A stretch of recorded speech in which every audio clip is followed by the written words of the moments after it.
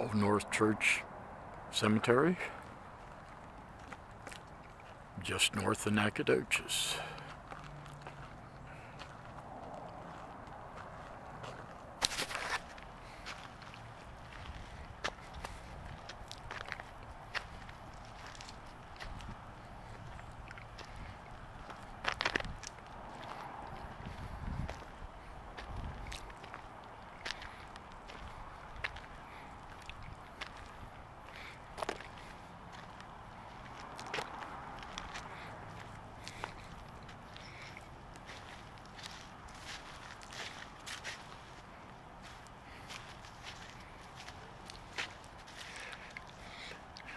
I'm not sure what this is all about.